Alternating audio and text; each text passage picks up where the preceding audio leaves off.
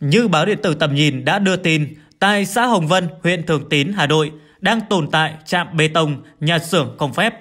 Những công trình trên là của công ty trách nhiệm hữu hạn vận tải hàng hóa Hồng Vân. Mặc dù trạm trộn bê tông trên được xây dựng từ nhiều năm nay, tuy nhiên, đến ngày 20 tháng 7 năm 2020, công ty Hồng Vân mới có công văn số 36 CVHV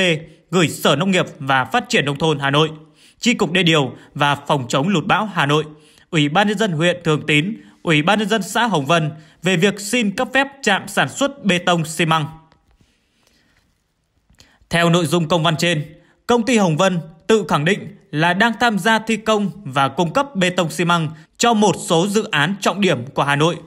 Để đáp ứng tiến độ của các dự án trên, công ty Hồng Vân xin được lắp đặt một trạm sản xuất bê tông xi măng tại bãi sông thôn Cẩm Cơ, xã Hồng Vân, huyện Thường Tín. Đến ngày 4 tháng 9 năm 2020, Chi cục Đê điều và Phòng chống lụt bão Hà Nội ra công văn số 1271 gửi công ty Hồng Vân. Trong đó đề nghị công ty Hồng Vân bổ sung hồ sơ, tài liệu gồm hồ sơ thiết kế do tổ chức, cá nhân có đủ điều kiện năng lực thực hiện và đã được thẩm định, phê duyệt theo quy định gồm thuyết minh, thiết kế cơ sở, phụ lục tính toán, bản vẽ mặt bằng, mặt cắt liên quan đến quy hoạch đê điều, quy hoạch phòng chống lũ, quy hoạch xây dựng được phê duyệt, các quyết định phê duyệt của dự án. Báo cáo tình hình quản lý và sử dụng đất kèm theo bình đồ mặt bằng diện tích sử dụng thực tế, việc chấp hành các quy định khác về đất đai, bảo vệ môi trường, phòng cháy chữa cháy. Đồng thời, đề nghị Ủy ban nhân dân huyện Thường Tín có ý kiến về việc này và gửi Chi cục Đê điều và phòng chống lụt bão. Như vậy, mặc dù trạm trộn bê tông của công ty Hồng Vân không có đầy đủ các giấy phép theo quy định, tuy nhiên không hiểu vì sao trạm trộn trên vẫn ngang nhiên hoạt động. Theo văn bản số 24 của Sở Nông nghiệp và Phát triển Nông thôn ký ngày 5 tháng 1 năm 2018, khu đất của công ty trách nhiệm hữu hạn vận tải hàng hóa Hồng Vân đang quản lý sử dụng không thuộc danh mục các khu vực dân cư tập trung bên bãi sông được tồn tại,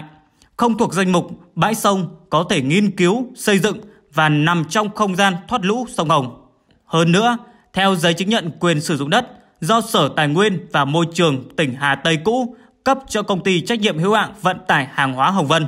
chỉ có tổng diện tích 1.711 m2, mục đích sử dụng xây dựng văn phòng, làm việc, kho bãi, neo đậu tàu sông. Và tại giấy phép hoạt động bến thủy nội địa do Sở Giao thông Vận tải Hà Nội số 08-2020 cấp cho công ty Hồng Vân nêu rõ phạm vi vùng đất là 1.711 m2, mục đích sử dụng xếp dỡ hàng hóa thông thường.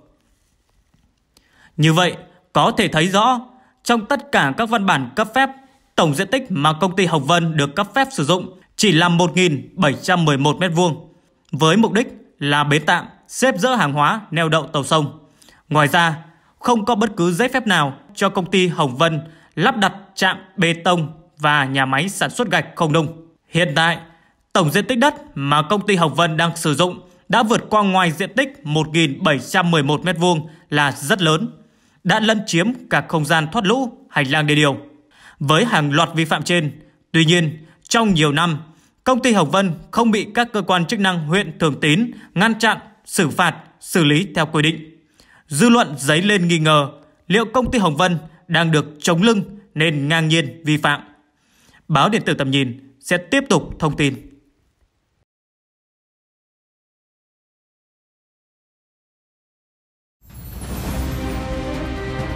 biểu tượng mới của thành phố tương lai phía Tây Hà Nội.